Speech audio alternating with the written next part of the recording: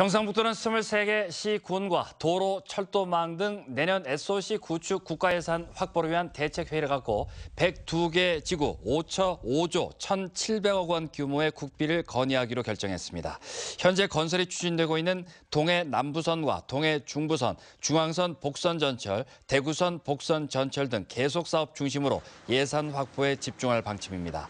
또 보령 울진 간 고속화도로, 영일만 횡단 고속도로, 성주 대구 간 고속도로와 남부 내륙 철도 등 신규 사업 국비 확보를 위한 활동도 병행할 계획입니다.